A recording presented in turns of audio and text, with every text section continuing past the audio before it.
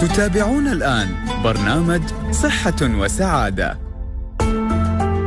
للمشاركة في البرنامج يرجى الاتصال على الرقم 600 55 14 14 أو عبر الرسائل النصية القصيرة اس 4006 صحة وسعادة. مستمعينا الأعزاء السلام عليكم ورحمة الله وبركاته. وصبحكم الله بالخير والنور والعافية. ويا مرحبا بكم وسهلا في برنامجكم الإذاعي اليومي صحة وسعادة. تقدم لكم هيئة الصحة بدبي بالتعاون مع إذاعة نور دبي.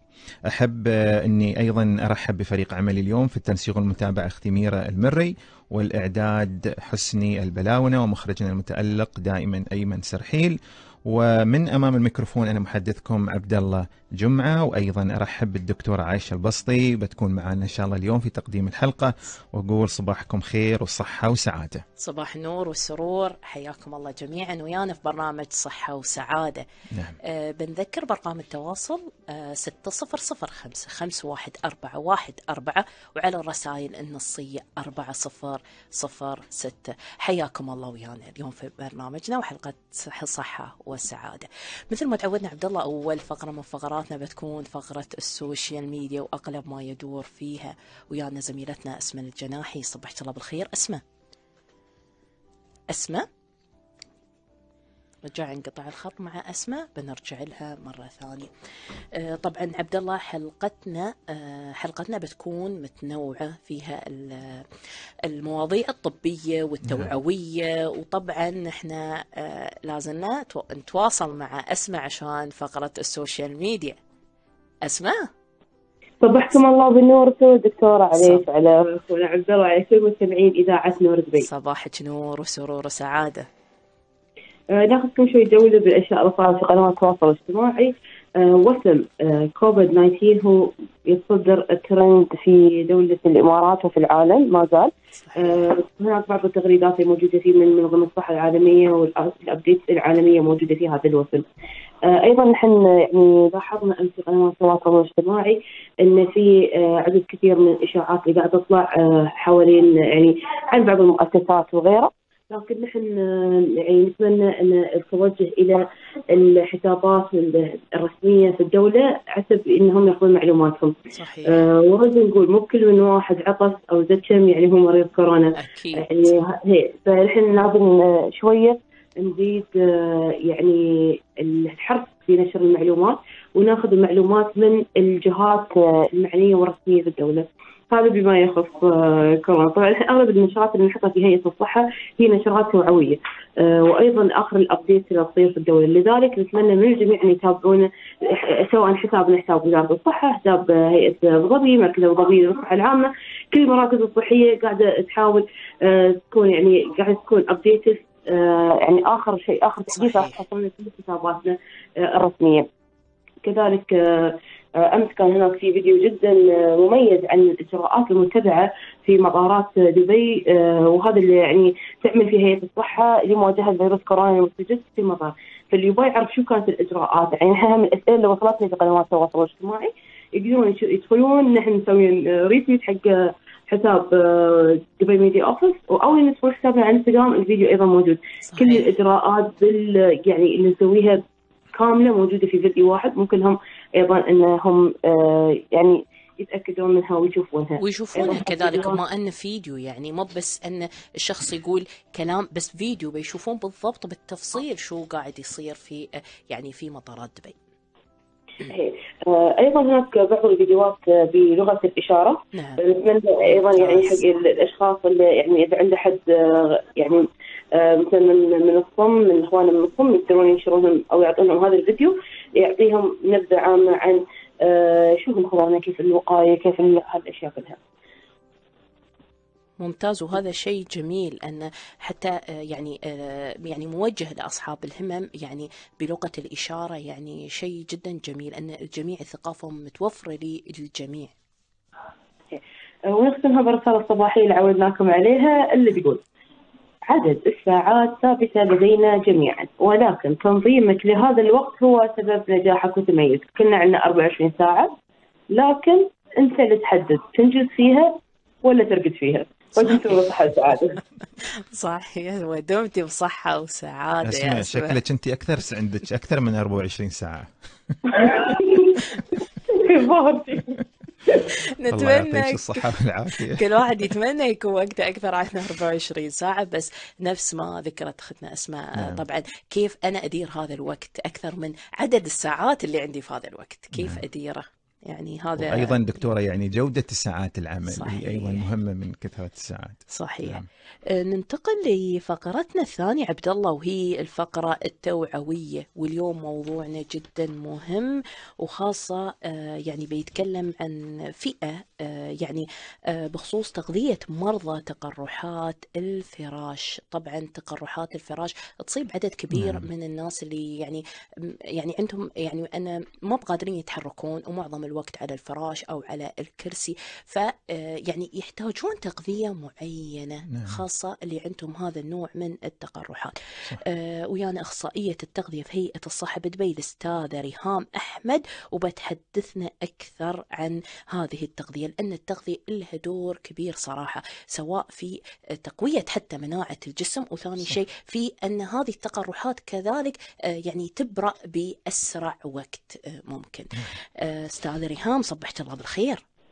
صباح الخير صباح صباح. الخير والنور والسرور. صباحك نور وسرور مرحبا استاذه ريهام. آه، أهلا مثل اخ عبد الله الله يحييك. مثل ما ذكرت الدكتورة عايشة بأن هاي الفئة من ال ال الناس آه، طبعا يعني بسبب وجودهم فترات طويلة دكتورة آه، عاشه على ال على ال على الفراش صحيح. طبعا لابد بأن يعني يأخذون كل الحصص وكل ال يعني ال- ال- المواد ال- الغذائية اللي يحتاجها الجسم. صحيح. فلهذا السبب يعني لابد إنه يكون في توعية بالنسبة للتغذيه اللي يأخذها خلال هالفترة هاي. فالأستاذة ريهام طبعا آه، بتكلمينا عن الدور التغذية لهالنوع من الناس. صحيح. آه، بسم الله الرحمن الرحيم. طبعا التغذية بتلعب دور كبير يعني نعم. في المحافظة على أعضاء الجسم المختلفة. وبتخليها تشتغل في آه، نقول تناغم آه، مع بعضها يعني بطريقة إن نحافظ على هاي الأعضاء أو هاي الخلايا اللي في الجسم. من ضمن هاي الأعضاء هو آه، الجلد اللي يعتبر كخط دفاع أول للجسم ضد الجراثيم والبكتيريا والمواد الضارة. في زي ما تفضلت الدكتورة وزي ما تفضلت حضرتك في آه، بعض ال- الأشخاص آه، آه، خلينا أغلبهم بيكون المسنين أو الكبار في السن اللي بسبب حالات مرضية معينة آه، بينتج عنها ضغط مطول على الجلد وضغط بالتالي مطول على النسيج اللي تحت الجلد وقد يصل إلى المناطق العظمية. مما يحد من تدفق الدم آه، لهذه المناطق. فبهاي الحالة بنسميها اللي هي تقرحات الفراش أو بالإنجليزي هي ال bed sore أو ال pressure ulcer واللي بنواجه منهم الكثير مثلا من خبرتنا مع المرضى. فبسبب عدم تدفق الدم بصورة كافية لهي المناطق بتصير فيها هذه التقرحات وهي التقرحات بتكون معرضة للالتهابات. الأشخاص المعرضين أكثر اللي هم الأشخاص المسنين اللي بيواجهوا صعوبة مثلا في الحركة وبيكونوا في حالة استلقاء على السرير على الفراش لفترات طويلة. أو الناس مثلا المرضى المصابين بالشلل آه، أو بيكونوا آه، يعني بيجلسوا على الكرسي المتحرك لفترات طويلة فبيكونوا عرضة للإصابة بهذه التقرحات. نعم. أيضا استاذه ريهام آه، يعني المرضى اللي مصابين بداء السكري هو طبيعة حال ال ال ال الإنسان اللي مصاب بداء السكري يعني نسبة التئام الجرح عنده بالحالات الطبيعية يكون أبطأ من الإنسان العادي. فدوركم أنتم مهم وحيوي جدا بحيث إن تتأكدون إن موضوع التغذية وال- والفترة ال- الغذائية اللي ياخذها الإنسان تكون يعني صحيحة بحيث إنه ما يوصل للاعراض هاي. مضبوط هلا لما بيجونا إحنا يعني المريض المصاب سواء بالوقاية أو حتى في في آه، طرق العلاج. بالإضافة طبعا الدور الأساسي للطبيب آه، من ناحية الأدوية طرق ال- الدريسنج أو الغيار على هاي التقرحات وتنظيفها. وبيجي دورنا إحنا كأخصائيين تغذية في تلبية احتياجات المريض من ال- التغذية السليمة أو التغذية المتوازنة. مثلا إحنا دائما بننصح يعني خاصة كبار السن اللي بيكونوا عرضة لهي التقرحات بالعادة ما بياخذوا كفايتهم من المجموعات الغذائية فبالتالي بننصح دائما إنه آه، هل هل المرضى أو هالأشخاص المعرضين للتقرحات آه، إنه يتناولوا وجبات غذائية متوازنة، يعني شو مقصود متوازنه؟ أنها تحتوي على جميع المجموعات الغذائية بالتركيز على بعض العناصر الغذائية اللي هي من أهمها البروتين. طبعا لما الشخص بتناول وجبات غذائية متوازنة هذا له دور في آه، صحة الجسم ككل وفي تعزيز المناعة ومقاومته للأمراض صحيح. آه ليش أنا ذكرت البروتين؟ لأن البروتين هو آه من العناصر الأساسية الغذائية الأساسية اللي لها دور في تجديد الخلايا لها دور في تعويض التالف منها ومن ضمنها خلايا الجلد بحاجة لكمية من البروتين كل يوم ممكن أكثر من غيرهم من المرضى خاصة إذا كانت هذه التقرحات أيضا ملتهبة. آه، مثلا بننصح إنهم يتناولوا البيض لوجبة الفطور. آه، ما ننسى البقوليات واللحوم لوجبة الغداء والعشاء. نعم. ما ننسى مجموعة الحليب ومنتجات الحليب لأن هاي العناصر كلها غنية بالبروتين. صحيح. في نوع معين بس بحب أذكره بسموه أحماض أمينية اللي هو يعني موجود في في في, في البروتين. آه، يعني بننصح نركز على على آه، كميات معينة من من البروتينات آه، لأنها لها دور زي ما تكلمت في تجديد الخلايا وتعويض التالف منها. فلازم نحصل على مجموعات غذائية كاملة ونركز أكثر شيء على البروتينات. نعم. وبخصوص الفيتامينات مضبوط آه، بخصوص الفيتامينات والمعادن نعم. ننصح بأنه يتناولوا كمية من الخضار والفواكه الغنية بفيتامين سي لأنه بيساعد على إنتاج الكولاجين. فيتامين سي موجود زي ما بنعرف بالحمضيات، بالفراولة، بالفلفل، صحيح. الألوان، السبانخ، أيضا الزنك لأنه الزنك آه، موجود مثلا بالحبوب الكاملة في اللحوم الحمراء في منتجات الحليب آه، لأنه نقصه بيأثر على إنتاج الكولاجين. فبالتالي إحنا بننصح إن تكون التغذيه متوازنة، كمية بروتين زيادة وأيضا نركز على الخضار والفواكه اللي فيها الفيتامينات آه، والمعادن. ممتاز. أستاذ ريهام أحمد نشكرك صراحة غطيتي الموضوع بطريقة سلسة وسهلة للجميع كذلك. آه، أهلا دكتورة. أنا بس في نقطة حبيت أضيفها إنه ال hydration أو ترطيب الجسم جدا ضروري. صحيح. حتى ما تكون الجلد معرض للجفاف وبالتالي التقرحات يعني لازم نحصل على كمية لا تقل عن لتر ونص لترين. طبعا كمية المي تختلف حسب العمر بس بمعدل لتر ونص لترين لترطيب الجلد ومنع جفافه. وزي ما تفضل الأخ عبد الله كمان المرضى اللي عندهم سكر بيكونوا عرضة أكثر صحيح. للإصابة خاصة القدم السكري إذا بتكفت فلازم نحرص دائما على أنه تكون عندهم مستويات السكر بالحدود الطبيعية لمنع تطور هاي التقرحات والتعجيل في شفائها. صحيح. الأستاذة ريهام أحمد اختصاصية التغذية في هيئة الصحة بدبي شكرا لك. شكرا جزيلا. شكرا, شكرا. لك. آه عبد الله وصلنا لفاصلنا لليوم إن شاء الله بنطلع فاصل وراجعين نكمل مواضيعنا. خلكم ويانا. صحة وسعادة. الأعزاء رجعنا لكم مرة ثانية في برنامج صحة وسعادة. أذكركم برنامج التواصل 600551 والرسائل النصية على 4006 حياكم الله ويانا. آه، طبعا عبد الله الحين فقرتنا بنتحدث أكثر عن شهر التوعية بسرطان القولون وخدمات هيئة الصحة دبي آه وطبعا بيكون ويانا اليوم في هذا الموضوع آه عبر الهاتف. الدكتور فراس الخطيب أخصائي جراحة عامة بمستشفى دبي. صبحك الله بالخير. دكتور فراس. صباح الخير. السلام عليكم وجميع المستمعين. حياك الله ويانا في برنامج صحة وسعادة. الله يخليك ويسلمك. سلام للجميع والشفاء لكل المرضى إن شاء الله. إن شاء الله. آه، دكتور فراس حابين نتحدث وتعطينا فكرة عامة عن المرض. هلا مثل ما بتعرفي السرطان مرض خطير موجود بالعالم بيصيب نسبة كبيرة من العالم.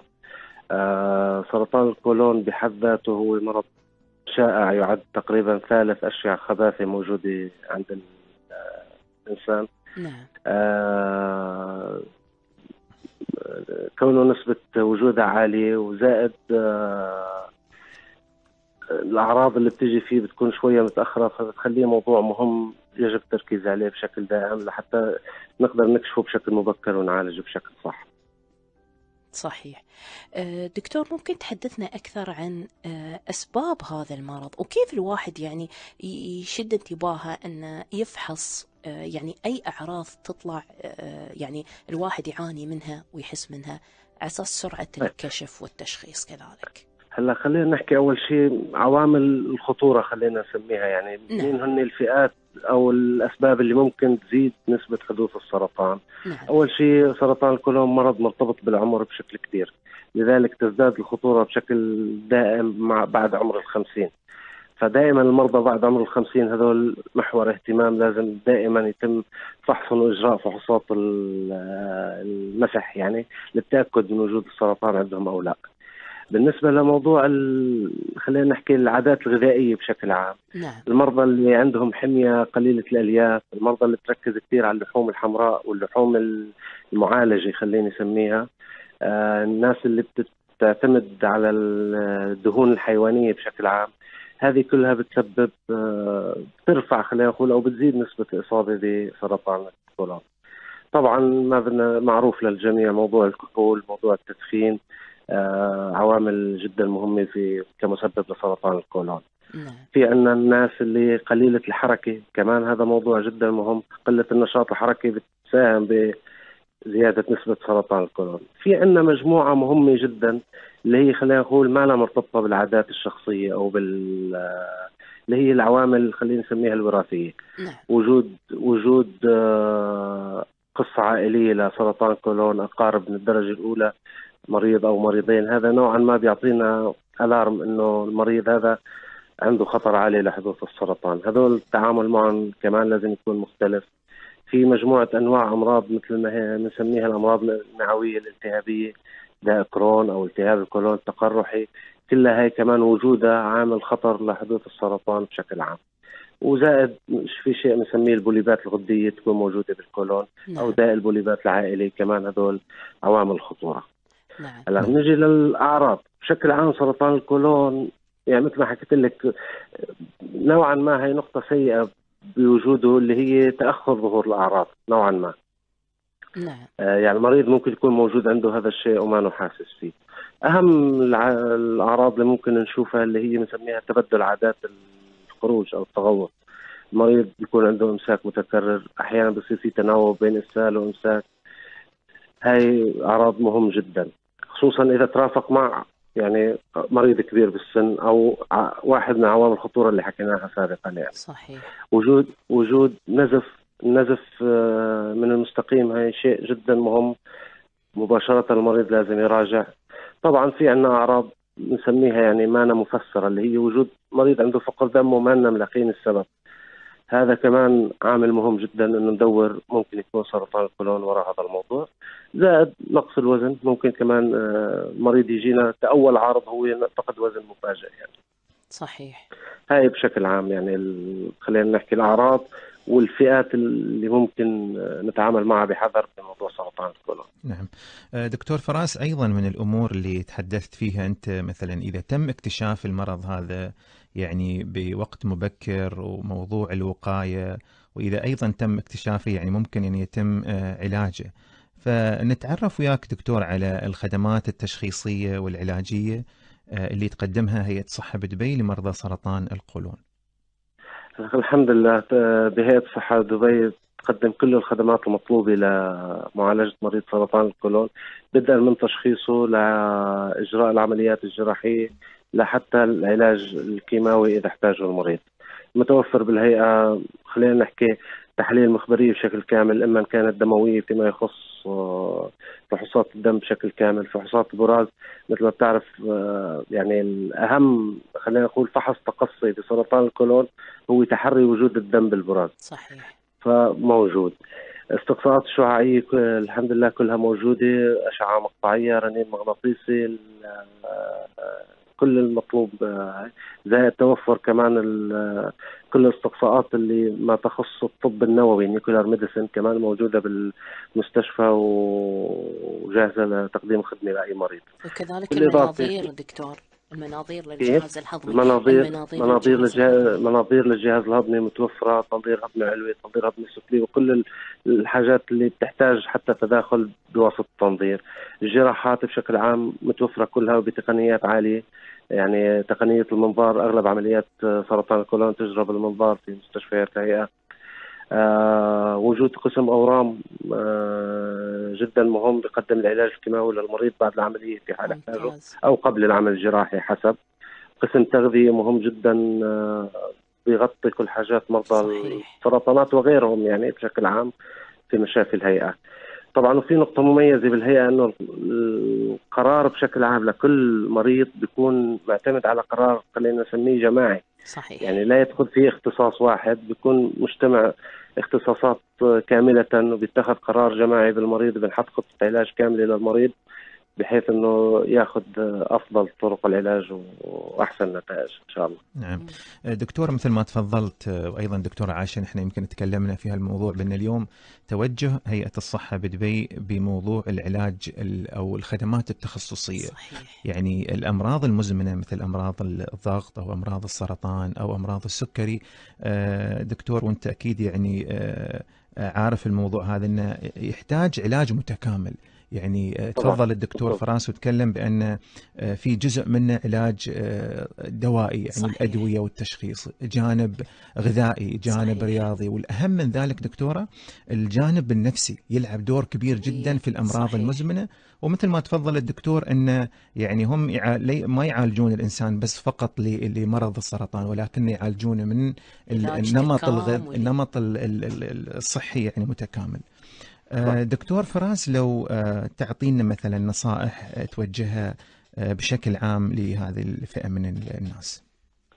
طيب أنا هلا بس في شغلة مهمة جدا لازم المرضى يعرفوها بشكل عام. نعم هلا مرضى سرطان الكولون اللي بيتشخصوا بمراحل مبكرة اللي هي خلينا نقول بعدها بنسميها تي 1 وتي 2 نعم هذول نسبة الشفاء فيهم تصل لغاية 90% ما شاء الله. لهم يعني إنه يتخيلوا فرق ال- الاستجابة في حال تاخر التشخيص أو ما شابه. نصائح بشكل عام أنا برأيي خلينا نسميها الاستقصاء المبكر. هذا أهم شيء أو المسح بشكل عام. مريض عمره فوق ال 50 سنة لازم يبدأ إجراءات الاستقصاء اللي هي مقسمة حسب عوامل الخطورة الموجودة عند المريض، مريض ما عنده أي مشكلة ثانية، ما في قصة عائلية، ما في أي شيء، لازم يراجع سنويا يعمل تحليل براز يشوف إذا في والله دم بالبراز. صحيح ممكن نضطر نعمل له منظار كل فترة.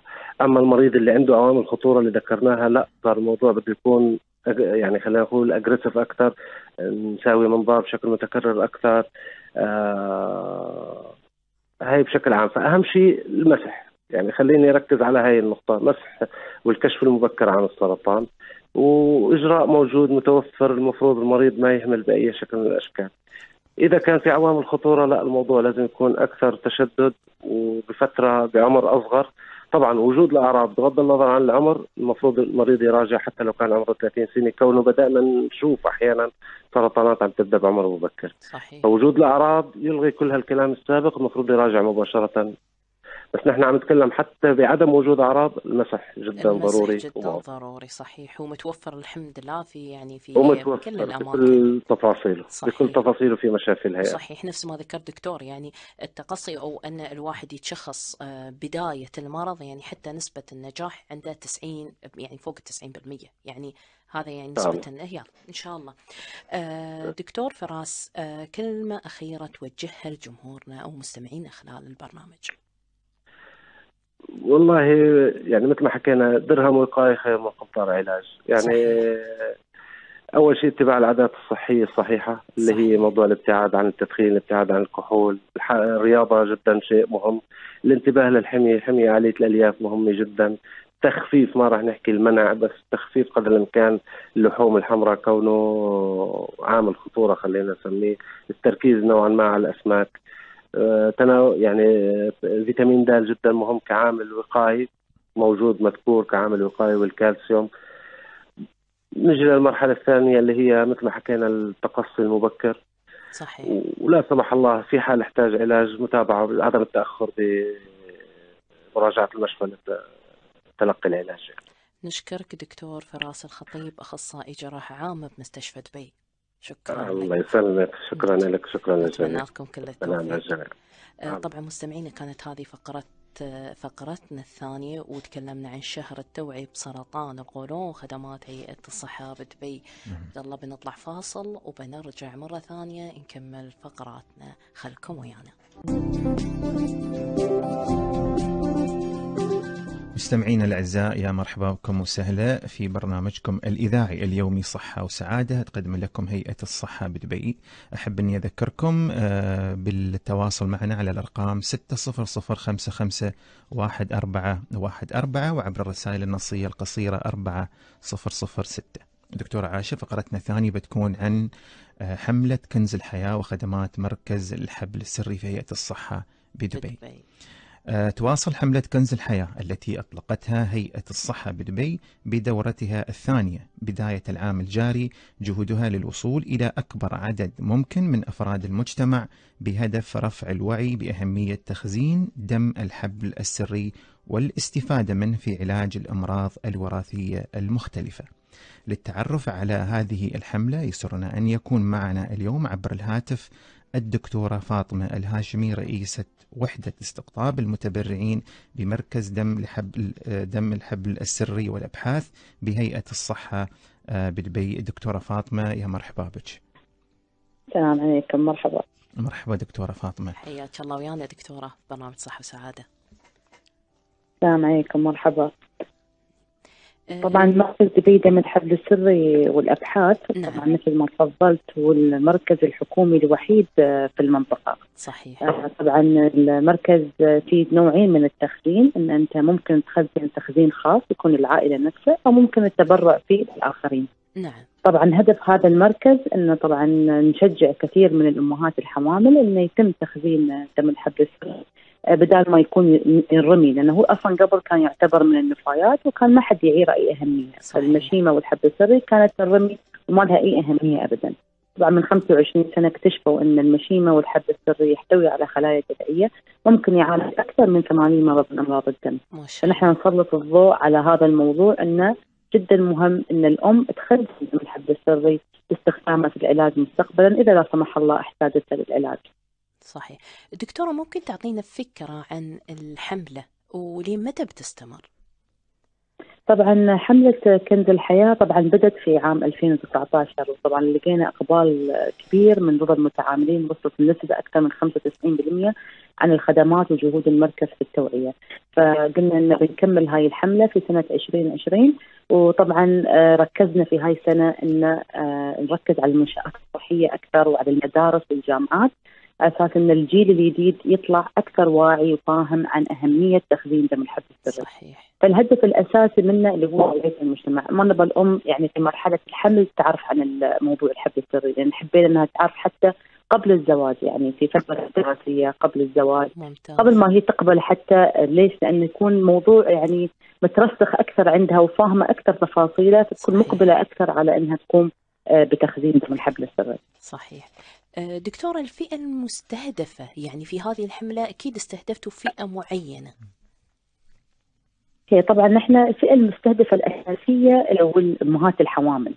آه بس نحن لاحظنا في الفترة الأخيرة ان نحن ما حابين نركز فقط على الامهات الحوامل، نبغى نركز على الزوج بعد إنه يكون واعي عن أهمية تخزين دم الحبل السري. صحيح يعني في النهاية الأم لما تحمل في النهاية تستشير الزوج صحيح لو هي كانت مثلا عارفة عن المعلومات حبل السري وتعرف اهميته لكن الزوج ما يكون عنده خلفية أو مثلا خبرة في هذا الموضوع فيكون يرفض أو ما يشجعها إنها تخزن. فنحن انه هاي السنة وسعنا شوية الفئة ما ركزنا فقط على الأم الحامل ركزنا على المجتمع بنفسه وركزنا على الأب. يعني إنه يكون يعرف أو الزوج أو اللي بيكون الزوج في المستقبل الرجل بشكل عام إنه يعرف عن الحبل السري وأهميتها وإن هذا الحبل السري طبعا ما يسبب أي استنساخ للطفل أو مثلا شيء مثلا يضر الطفل لا بالعكس هذا شيء مهم جدا إنه يشجع زوجته إنها تخزنه على أساس إنه يوم من الأيام لا سمح الله إذا مرض الطفل أو مثلا في شيء في العائلة من أمراض الدم ممكن استخدام هالخلايا الجذعية للعلاج. صحيح نعم.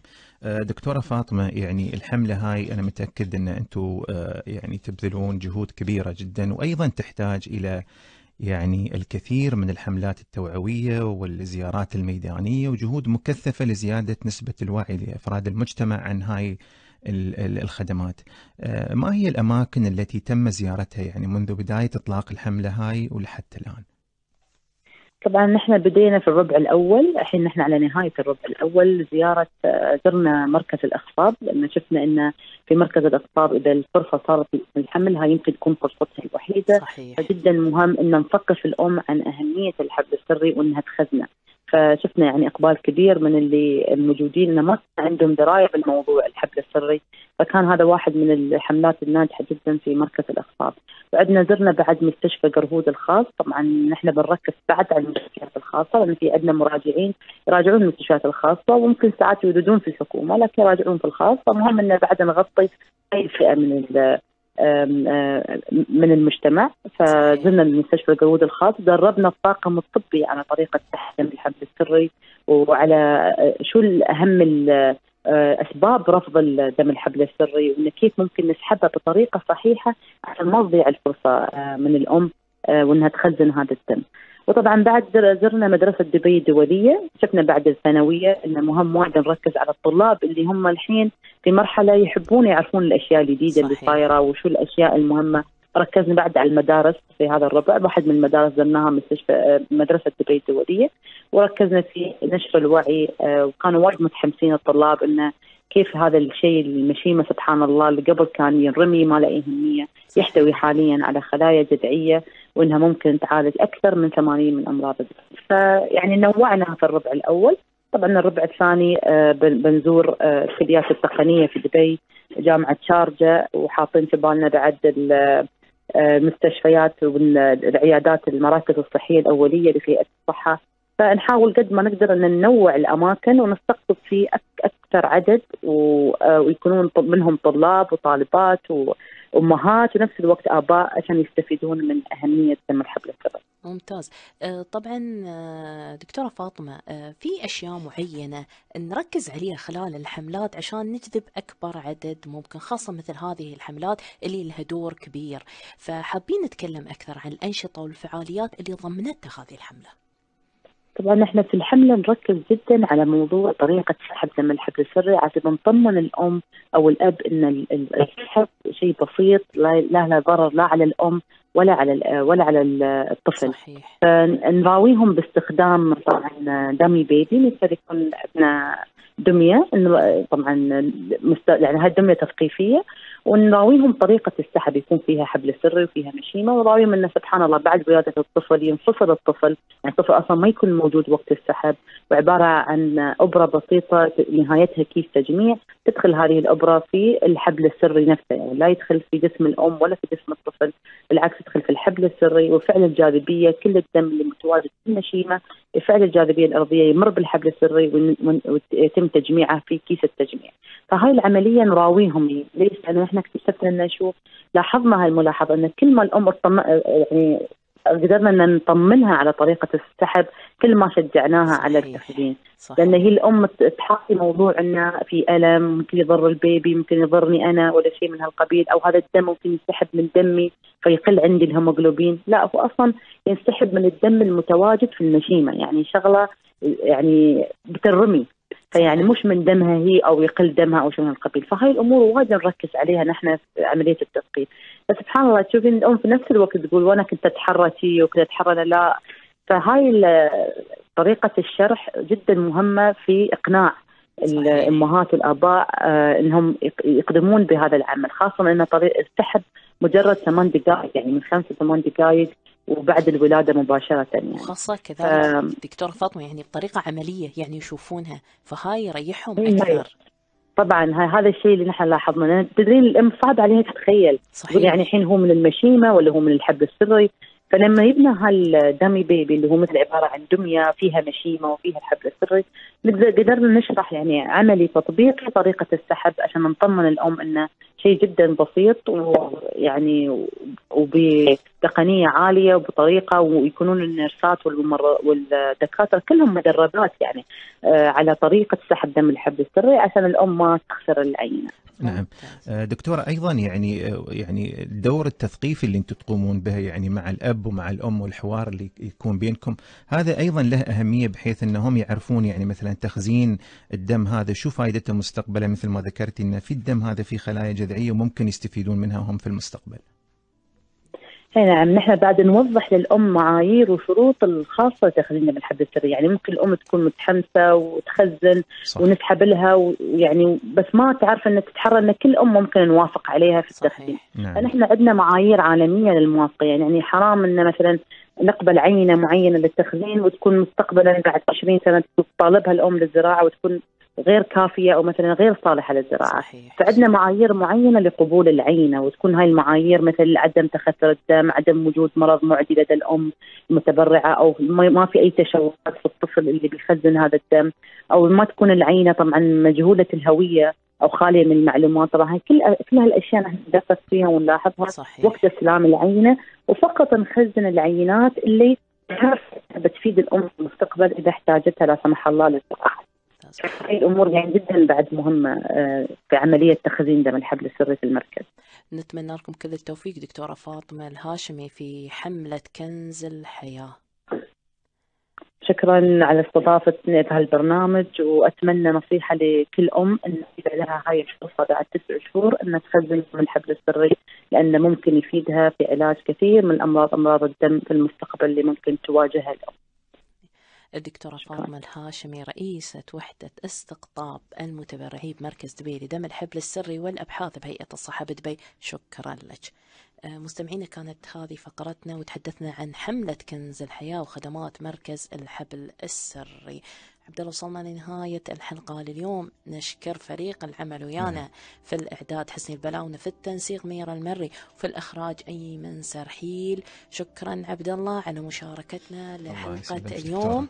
والوقت ما شاء الله طاف بسرعة. طاف بسرعة والحلقة كانت يعني نعم، الحمد لله. غنية وحيوية كذلك في نفس الوقت. ومواضيع مهمة مثل ما تعودنا نطرحها في حلقاتنا في برنامج صحة وسعادة. نعم. إن شاء الله نلقاكم باكر على نفس التوقيت من الساعة 10 الصبح بتوقيت دبي.